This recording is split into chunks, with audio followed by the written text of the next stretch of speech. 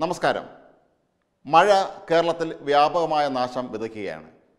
ദക്ഷിണ കേരളത്തിലും മധ്യ കേരളത്തിലുമാണ് ഏറ്റവും അധികം മഴ കൊണ്ടുള്ള ദുരന്തങ്ങൾ ഉണ്ടായിട്ടുള്ളത്. ഈ മഴ നാളെ ഉച്ചവരെ തുടരുമെന്നാണ് കാലാവസ്ഥാ നിരീക്ഷണ വൃത്തങ്ങൾ നമ്മെ അറിയിച്ചിട്ടുള്ളത്.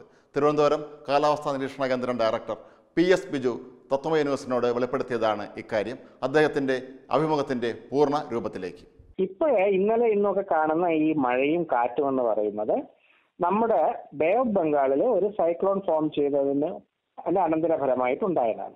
ബേ ഓഫ് ബംഗാളിൽ ഒരു സൈക്ലോൺ ഫോം ചെയ്യുമ്പോൾ ആ ഭാഗത്തോട്ട് കാറ്റും ക്ലൗഡും ഒക്കെ അങ്ങോട്ട് ഫാസ്റ്റ് ആയിട്ട് മൂവ് ചെയ്യും. അപ്പൊ നമ്മുടെ ബേ ഓഫ് ബംഗാളിലോട്ട് ഈ അറേബ്യൻ സീയിലുള്ള ക്ലൗഡും കാറ്റും ഒക്കെ അങ്ങോട്ട് മൂവ് ചെയ്യുമ്പോൾ അത് ക്രോസ് ചെയ്യുന്നത് നമ്മുടെ കേരള സൗത്ത് കേരള വഴിയാണ്. അപ്പോൾ സൗത്ത് കേരള എല്ലായിടത്തും നല്ല കാറ്റും മഴയും ഈ ക്ലൗഡ് കൊണ്ടുള്ള മഴയും ഉണ്ടാകും. ഈ സിസ്റ്റം ഡൈ ഔട്ട് ആയി കഴിഞ്ഞാൽ ഈ ഒരു കാറ്റും മഴയങ്ങ് കുറയും. അതാണ് സംഭവിക്കുന്നത്. അപ്പൊ ഇന്നും നാളെയും നാളെ ഉച്ചവരെ കൊണ്ട് ഈ കാറ്റും മഴയങ്ങ് കുറയും. പിന്നെ നമുക്ക് അടുത്ത അഞ്ച് ദിവസം കാറ്റിന്റെ ശക്തി അല്പം കുറയുകയും പിന്നെ മൺസൂൺ ഉണ്ടാകുന്ന സമയത്ത് വീണ്ടും മഴ കൂടുകയും ചെയ്യും. അപ്പൊ ഇന്നത്തെ സാഹചര്യം അനുസരിച്ച് ഇന്ന് കേരളം മുഴുവൻ നല്ല മഴയായിരിക്കും. അതുപോലെ നല്ല അതിശക്തമായ മഴകളും ഉണ്ടാകും. നാളെയും ചില സ്ഥലങ്ങളിൽ ശക്തമായ മഴകൾ ഉണ്ടാകും അത് കഴിഞ്ഞാൽ രണ്ടു ദിവസം പിന്നെ ശക്തമായ മഴകൾ കുറയും. വീണ്ടും മഴ അല്പം കൂടും. അത് മൺസൂൺ ക്ലൗഡ് നമ്മുടെ അതിർത്തിയിലോട്ട് എത്തിക്കൊണ്ടിരിക്കുന്നത് കൊണ്ടാണ്.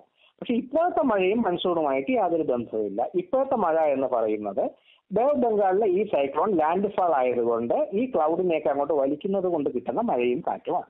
ഈ മഴയെ സംബന്ധിച്ചിടത്തോളം ശ്രദ്ധിക്കേണ്ട കാര്യം എന്തെന്ന് വെച്ചാൽ പലയിടത്തും വാട്ടർ ലോഗിംഗ് ഉണ്ടാകും. വെള്ളം കെട്ടി നിൽക്കും അതുപോലെ തന്നെ കാറ്റും മഴയും ഉള്ളത് കൊണ്ട് മരങ്ങളുടെ ചില ബ്രാഞ്ചുകളൊക്കെ ചിലപ്പോൾ ഒടിഞ്ഞു വീഴുകയും ഒക്കെ ഉണ്ടാകുന്നത് കൊണ്ട് ആളുകൾ വളരെയധികം ശ്രദ്ധിക്കണം. ഈ കാറ്റും മഴയോടൊപ്പം തന്നെ തണ്ടർസ്റ്റോമും ലൈറ്റനിങ്ങും ചില സ്ഥലങ്ങളിൽ റിപ്പോർട്ട് ചെയ്യും. അപ്പോൾ എല്ലാവരും വളരെ ശ്രദ്ധാപൂർവം വീട്ടിന് പുറത്തിറങ്ങുമ്പോൾ വളരെ ശ്രദ്ധാപൂർവം പെരുമാറണം. കഴിവതും വീട്ടിനകത്ത് തന്നെ ഇതിനുശേഷം ലോക്ക്ഡൌണും കൂടെ ആയതുകൊണ്ടും ഈ മഴയും ഉള്ളത് കൊണ്ടും കഴിവതും ആളുകൾ വീട്ടിനകത്ത് തന്നെ ഇരിക്കുന്നതായിരിക്കും നല്ലത്. കാരണം ഇന്നത്തെ കാറ്റ് അല്പം ശക്തമാണ്.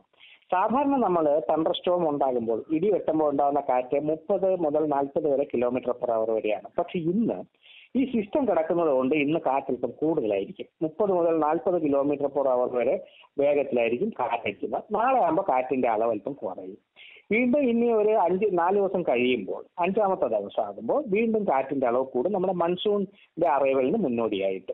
ഇപ്രാവശ്യം കാലാവസ്ഥാ നിരീക്ഷണ കേന്ദ്രം മൺസൂൺ ഓൺസെറ്റ് മൺസൂൺ തുടങ്ങുന്നത് പറഞ്ഞിരിക്കുന്നത് തേർട്ടി ഫസ്റ്റ് മെയ്യിലാണ് അതിന് plus or minus four error model error ഉണ്ട്. പക്ഷെ ഇപ്പോഴത്തെ ഈ മഴ എന്ന് പറയുന്നത് ഈ സൈക്ലോണുമായിട്ട് ബന്ധപ്പെട്ട മഴയായതുകൊണ്ടാണ് ഇത്രയും കാറ്റുണ്ടാവുന്നത് അതുകൊണ്ട് ആളുകൾ കഴിവതും പുറത്തിറങ്ങാതിരിക്കുകയാണ് നല്ലത്. കാരണം നല്ല കാറ്റും മഴയും പുറത്തുണ്ട്. കോവിഡ് മഹാമാരിക്കിടയിലാണ് മലയാളികളെ വീണ്ടും ദുരിതത്തിലാഴ്ത്തി ഈ മഴ പെയ്തിറങ്ങുന്നത്. ഇതിന് നാളത്തോടെ ശമനമുണ്ടാകും എന്നതാണ് ഏറ്റവും സന്തോഷകരമായ ഒരു കാര്യം. Web desk Tatwamayi news.